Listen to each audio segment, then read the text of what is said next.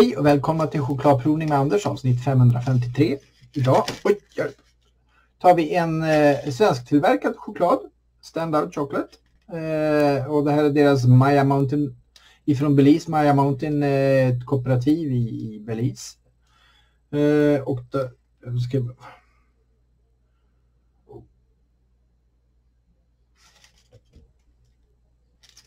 ja.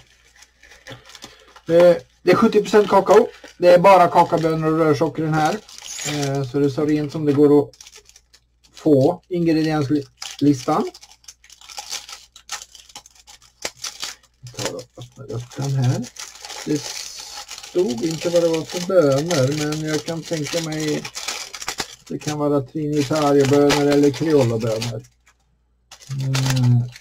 Och varför tror jag det? Jo, därför att färgen är väldigt rödbrun. Eh, och det är bönsorter och, och, deras kloner som ger en sån här rödbrun. Och det är 70% kakao så att den, är ju, den ser nästan ut som en mörk mjölkchoklad i färgen. Så. Mm. det blir inte så dumt egentligen. Så. så vi tar och bryter av och så tar vi lukta på den här. För det är det man gör när man testar choklad. Eller provar choklad. Eller recenserar choklad.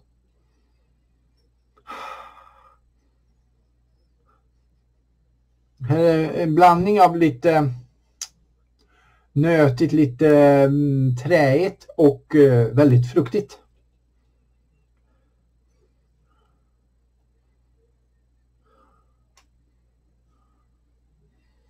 Ja, det, det, det, är lite citrusfrukter, det är lite röda vinbär, det är lite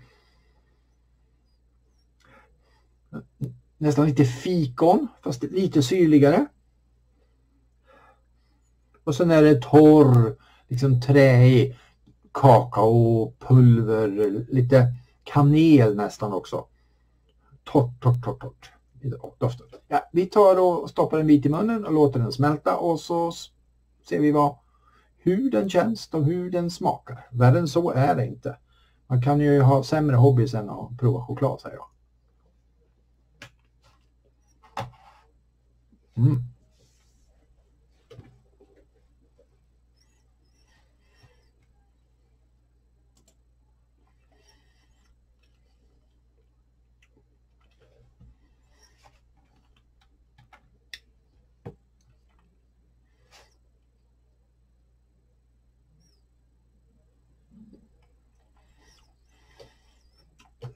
Väldigt mild och mjuk och fet choklad. Så jag vet inte hur relationen är kakaomassa och kakaosmör, det har jag ingen aning om. Men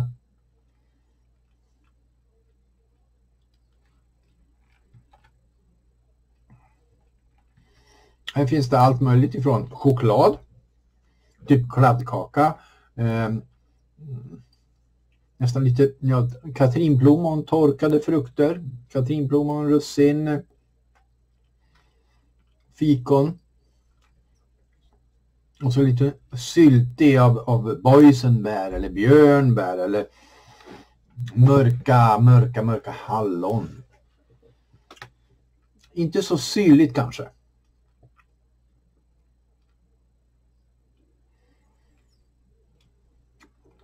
Smälter väldigt lent men är liksom tjock som grädde.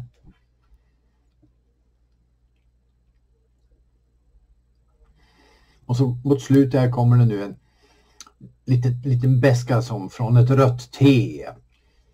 Från om man skulle bita i en trästam.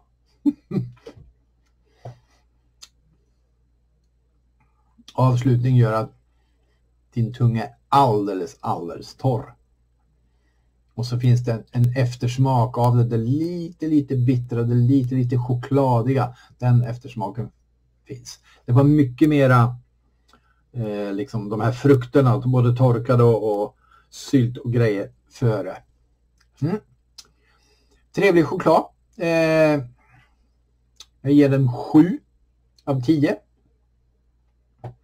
Eh, absolut värd att eh, slänga ut lite pengar på för att smaka svensk kvalitetschoklad skulle jag vilja säga.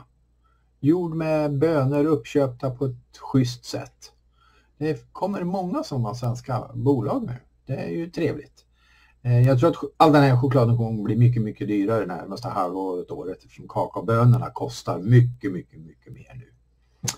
Beroende på massor med orsaker. Men det kanske inte gör någonting. Man äter inte mycket av det. Och en sån här chokladkaka den håller väl ett bra tag. Vad hade de för? Bäst för eh, 25.05, ja den håller ett år, år till. No problems. Ett, två bitar i taget. Njut. Och så syns vi en annan måndag.